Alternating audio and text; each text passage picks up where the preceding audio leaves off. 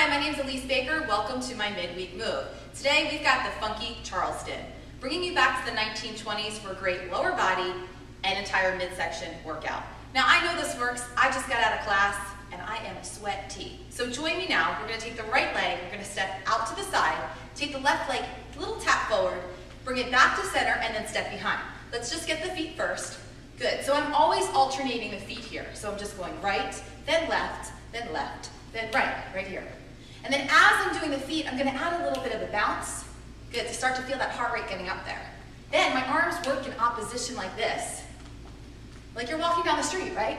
We never walk with the same arm as leg. And I said the lower body is gonna really feel it, so I want you to really lunge into it. Ah, stand tall, then back. Good, then you can add a little twist to get that midsection going. Then it becomes dancier and a lot of fun right here.